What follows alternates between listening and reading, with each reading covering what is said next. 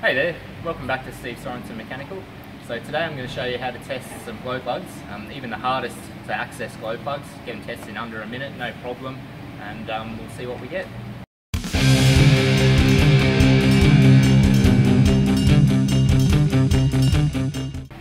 Okay, so we've got a Hyundai i30 diesel here today.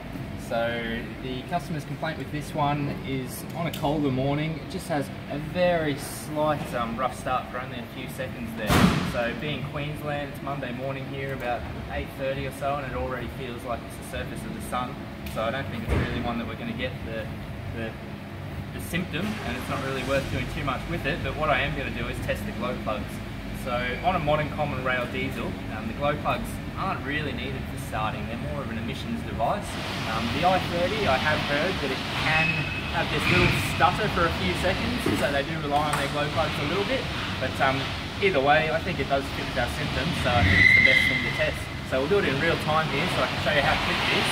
And we're going to use the Picoscope and we're going to hook up and test if well, firstly, if any of the glow plugs are working, and then we can do a calculation with how many amps it's drawing, and we'd be able to tell how many of the glow plugs are working. So here's my little diagnostic cart. So I'm going to open up Picoscope. Uh, already pre-selected, it's got one channel going. So channel A is on a voltage of 20 volts. Um, I'm going to bring in a second channel because I want to watch amperage as well. So I'm going to tell it that I'm going to be using my 60 amp current clamp and I assume that it's going to need all 60 of those amps, most likely being glow plugs, fairly high consumers. So I'm going to grab channel A. I'm going to use the block earth, so that's going to basically test the earth of the glow plugs as well. If I see 12 volts getting to them, and I'm using that earth, then I know that that's good earth. Just grab out a back probing pin glow plugs on this one are down the back of the engine there. Quite nice to get to, but I think you'll see the value in this test in something that is extremely hard to get to. Um, not the kind of thing that you'd want to pull out and and um, manually do an ohms test and then find, oh no, they're all good. That wasn't a, a good use of an hour.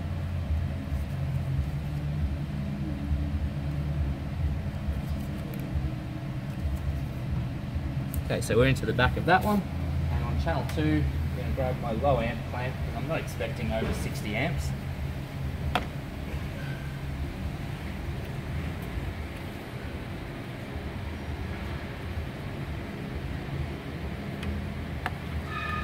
Turn it on, make sure it's zeroed on here.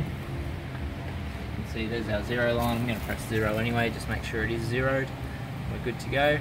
Um, I'm on a time base of 100 milliseconds, you can see it every now and then flicking over a page. Pretty much too quick. We're not really after speed here. We want to see things that are happening over time. So I'm going to put it on one second per division. So our blue channel 1 is going to be able to read 20 volts at one second per division. And our red channel 2 is going to be able to read 60 amps and it's at one second per division as well. Not too concerned about a um, actual sample rate because glow plugs, you know, they're slow as hell. We're, we're going to see the whole event. So I'm going to put this on. I don't know which direction it could be. I could be going negative or positive polarity. It just means that the current clamp's either going to show up or down on the graph on here, but not a big problem. So just wait till it gets through to the next trace so we get a, a nice, good trace. I'm going to turn the ignition on. So I can see my 12 volts there. I'm getting call that no amperage at all. You know, if you want to get picky, you can draw cursors in, that kind of thing, but we're down here at nothing, whereas up here I am getting 12 volts. If I was to start the car just to see the point, there we go, you can see it turn off because the ignition was on for so long. I've started the car, still nothing happening, so I'd be quite confident saying to the customer that we've got forward bed glow plugs. Um, you can take them out, you can ohm test and that kind of thing, but it's a quick, easy test to show that. So I'll get the new ones for you and we'll review the test. Okay guys, so we've got our four old glow plugs out and we've got the new glow plugs here. So we'll do the old school resistance test just to prove that our method is sound and um, we'll see what results we get.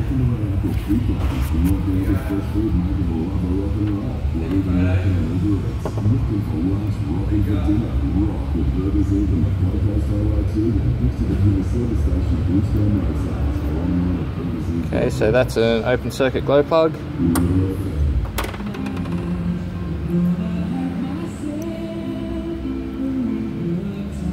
Another open circuit. Another dead one. And for the set, all dead. If we get our new one,